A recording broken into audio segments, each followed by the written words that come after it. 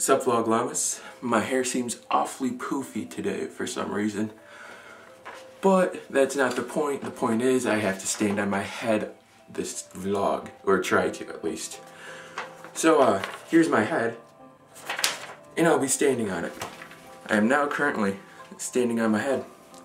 Oh, I should actually try it because everybody doesn't seem to like my little loopholes that I find in every single challenge, so I'll actually try this one. Get out my head, right?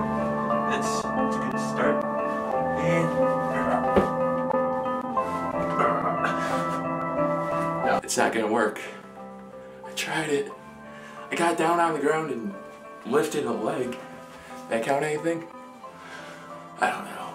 This angle's really weird now. So, uh, Brandon, I'm not gonna forget the challenge this time. How about you make your vlog backwards? For example, take a pair of sunglasses, put them behind your head, then say, then put like a jacket. I know you have this jacket, I think, right? So you should use this jacket just for cool points, right? And then put the hood over your head and turn around. Do something like this.